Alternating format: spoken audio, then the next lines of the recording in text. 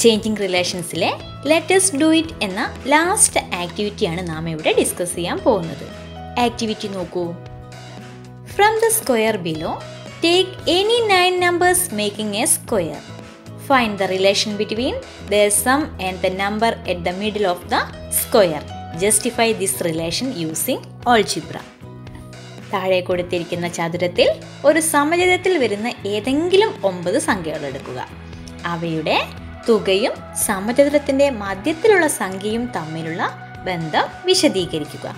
ഈ ബന്ധം ബീജഗണിതം ഉപയോഗിച്ച് സമർത്ഥിക്കുക. ഈ റെക്റ്റാങ്കിളിനകത്ത് ഹൊറിസോണ്ടലായും വെർട്ടിക്കലായും സിക്സ് നമ്പേഴ്സ് വരുന്ന രീതിയിൽ ഒരു പ്രത്യേക ഓർഡറിലാണ് നമ്പേഴ്സ് എഴുതിയിരിക്കുന്നത്. ഫസ്റ്റ് കലണ്ടർ മാത്തിൽ നാം ചെയ്ത പോലെ നയൻ നമ്പേഴ്സ് ഒരു സ്ക്വയറായി വരുന്ന രീതിയിൽ എടുക്കുന്നു.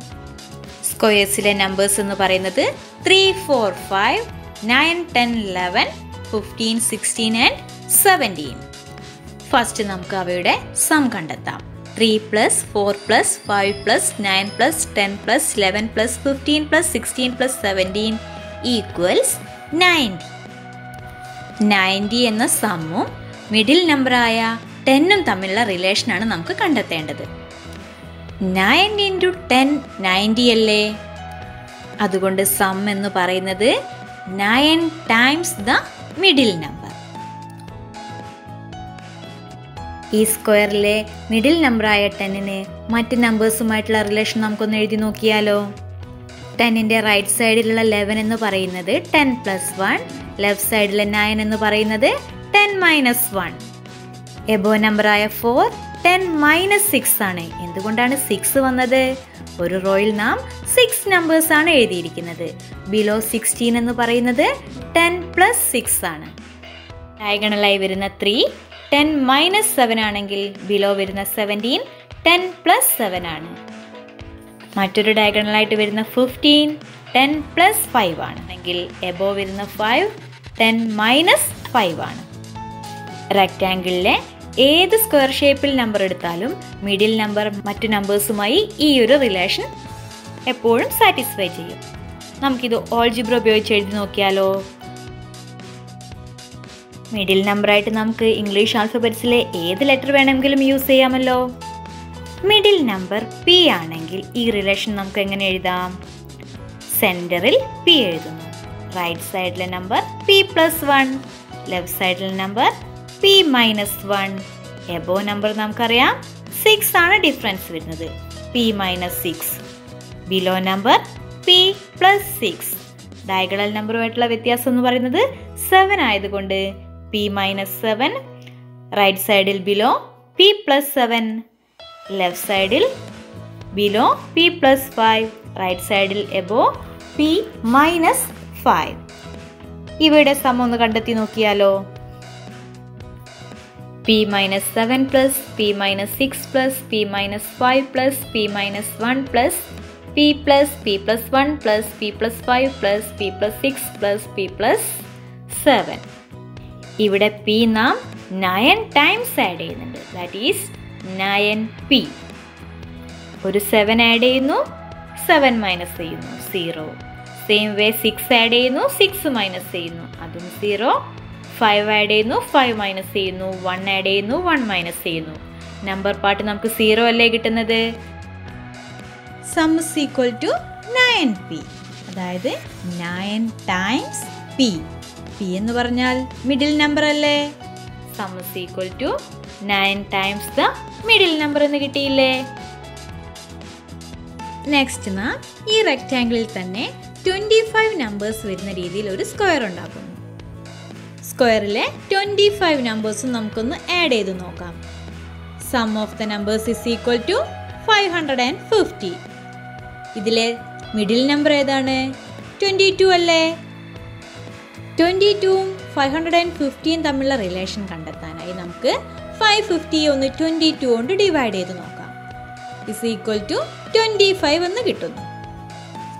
Five fifty is equal to twenty five into twenty two that is sum is equal to twenty five times the middle number ഇവയെ നമുക്ക് ഓൾജിബ്രൈക്ക് ഇക്വേഷനായിട്ട് എഴുതുന്നതിന് മുമ്പ് ട്വന്റി ടു എന്ന മിഡിൽ നമ്പറിന് മറ്റ് നമ്പേഴ്സുമായിട്ടുള്ള റിലേഷൻ ഒന്ന് എഴുതി നോക്കിയാലോ?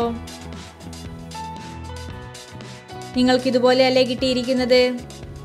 ട്വന്റി ഫൈവ് നമ്പേഴ്സ് വരുന്ന രീതിയിൽ മറ്റ് സ്ക്വയേഴ്സ് എടുത്താലും സെന്റർ നമ്പറുമായിട്ട് മറ്റ് നമ്പേഴ്സ് ഇതേ റിലേഷൻ ആയിരിക്കും. അത് നിങ്ങൾ ചെയ്തു നോക്കുമല്ലോ. നമുക്ക് ഓൾജിബ്രായിക് എക്സ്പ്രഷൻ എഴുതാം. മിഡിൽ നമ്പർ എക്സ് ആണെങ്കിൽ മറ്റ് നമ്പേഴ്സ് എഴുതിയിരിക്കുന്നത് നോക്കൂ. സം കണ്ടെത്താനായി ഈ ട്വന്റി ഫൈവ് നമ്പേഴ്സ് നമുക്കൊന്ന് ആഡ് ചെയ്ത് നോക്കിയാലോ. എക്സ് എന്ന variable twenty five times add ചെയ്തത് കൊണ്ട് twenty five X number പാർട്ടായ fourteen thirteen twelve eleven ten eight seven six five four two one എന്നീ നമ്പേഴ്സ് ആഡ് ചെയ്തിട്ടുണ്ടെങ്കിലും അവയെല്ലാം മൈനസ് ചെയ്യുകയും ചെയ്തിട്ടുണ്ട്. അതുകൊണ്ട് സീറോ അല്ലേ? For sum is equal to twenty five times X X middle number ആയതുകൊണ്ട് sum is equal to twenty five times the middle number next നമുക്ക് calendar മാജിക്കിലേക്ക് വരാം. കലണ്ടറിൽ നയൻ നമ്പേഴ്സ് വരുന്ന രീതിയിൽ ഒരു പ്ലസ് ഷേപ്പ് ഉണ്ടാക്കി നോക്കൂ. ഇവിടെ മിഡിൽ നമ്പർ സെവന്റീൻ ആണല്ലോ. ആ സെവന്റീന് ഇവയുടെ സമ്മുമായിട്ടുള്ള റിലേഷനാണ് നാം കണ്ടെത്താൻ പോകുന്നത്. അതിനായി ഇവയുടെ സം കണ്ടെത്താം.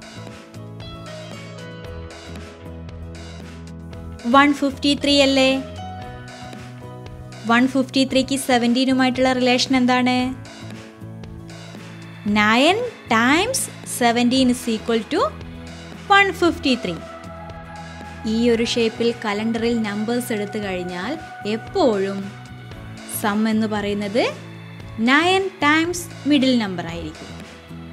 ഇവയുടെ സം തന്ന് മിഡിൽ നമ്പറാണ് കാണേണ്ടതെങ്കിൽ എന്ത് ചെയ്യണം? Middle number is equal to sum divided by nine ചെയ്താൽ പോരെ?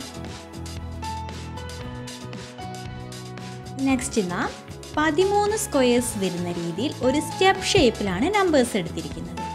ഇവയുടെ മിഡിൽ നമ്പർ ഏതാണ്? സിക്സ്റ്റീൻ നെക്സ്റ്റ് അവയുടെ സം ഒന്ന് കണ്ടെത്താം. ടു ഹൺഡ്രഡ് ആൻഡ് എയ്റ്റ് അല്ലേ കിട്ടുന്നത്?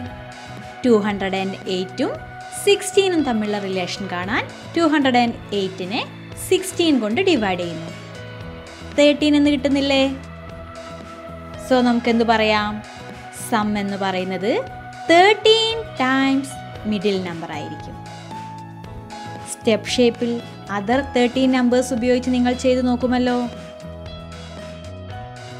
നെക്സ്റ്റ് കലണ്ടറിൽ ഫൈവ് നമ്പേഴ്സ് ഒരു സെല്ലുലാർ ഷേപ്പിൽ എടുത്തു നോക്കിയാലോ? ഇവിടെ മിഡിൽ നമ്പർ നയൻ ആണ്.